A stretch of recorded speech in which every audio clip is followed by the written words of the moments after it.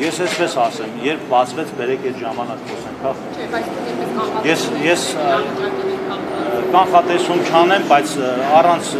սամանի բացման էլ մեր մարզում տուրիստական այն հա, ես ասեմ շատ լավ վիճակ է տուրիստական туриզմի զարգացման կապված ցանկացած բարակայում Գյումրին մարզը ծաղկուն վիճակ է։ Այսինքն կանխատեսում եք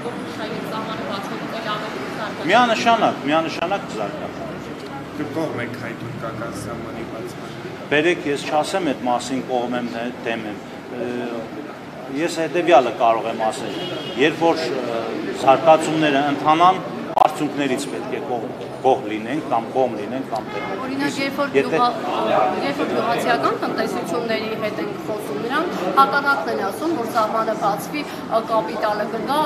ադրբեջանա-ռուսական կապիտալը եւ իրենք կդուրեն այս Ցանկացած բարակայում, երբ որ որևիցե մի տարածքում ներդրումներ են լինում, այստեղ